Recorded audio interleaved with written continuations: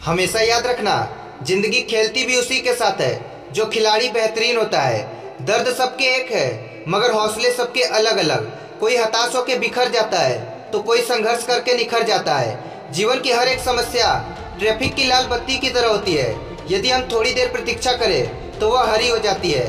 बस धैर्य रखें और प्रयास करें। समय ज़रूर बदलता है। नकारात्मक लोगों से हमेशा दूर रहना, क्योंकि उनके पास हर समाधान के लिए एक नई समस्या पड़ी रहती है। भाग्यशाली वे नहीं होते, जिन्हें सब कुछ अच्छा मिलता है, बल्कि वे होते हैं, जिन्हें जो मिलता है, वो उसे अच्छा बना देते हैं। हिम्मत मत खोना, अभी बहुत आगे जाना है। जिन्होंने कहा था, तेरे बस का नहीं, उन्हें भी करके दिखाना है। थोड़ा जिद्दी हूँ, ख्वाब देखने से बाज नहीं आता। अपने सपनों के लिए, बिना संघर्ष किए हार जाऊँ, ऐसा करना मुझे नहीं आता। और मेरी इस बात को हमेशा याद रखना, खुद का माइनस पॉइंट जान लेना ज़िंदगी का सबसे बड़ा प्लस पॉइंट होता है तो ढूंढो अपने माइनस पॉइंट को।